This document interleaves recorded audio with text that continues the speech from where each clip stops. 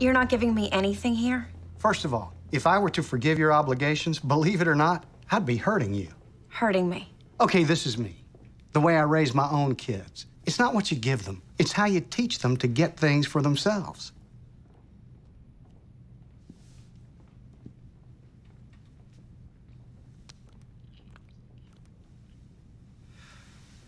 Just making sure you're real. You know, I don't know you yet, Mr. Shore, but I get this feeling I'm gonna like you. Uh, may I ask, you spoke of honoring obligations as if it's a good thing. Indeed, I did. Then why do you and other credit card companies refer to the customers who pay off their debts promptly as deadbeats? Well, that's not a term I would personally use. No, because you're swell. But your company uses a term like a mantra. Here's the thing.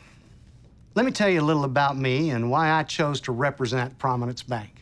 Like any other credit card service, it's a business, sure, but it is a service.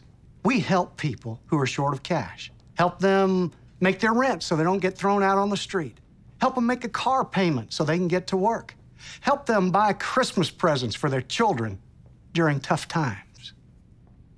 You're like Santa Claus. I can see you and I need to go out and shoot some ducks together. Do you explain all the credit terms to your customers? Well, they're on the back of every application. Like this? With a tiny print? I have a JD and an MBA from Harvard, and even I can't make heads nor tails of this deception and fraud. It's deception and fraud.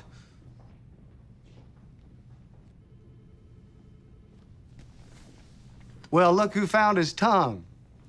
And you, Mr. Shore, you're a hoot, that's what. Is it true your company actually targets people with bad credit ratings? Well, we have an extremely complex marketing strategy, one that I'd be happy to take some time and explain to you. That's okay. I think I've got it. You find people in dire straits and market directly to them uh, with the hope of forming a lifelong relationship. I had a former client who kind of operated his business the same way. Really? What line of work was he in? He sold heroin. My friend, I am not a man who offends easily. So I could call you a loan shark and you'd be fine.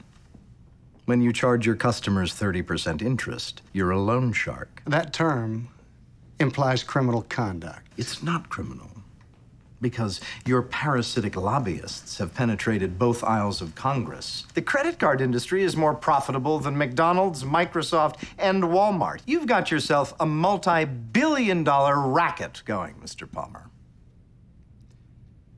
Given that we are bigger than Walmart or McDonald's or Microsoft, we enjoy some security. And potential lawsuits like this, we have an expression in Texas, Mr. Shore. You're all hat and no cattle.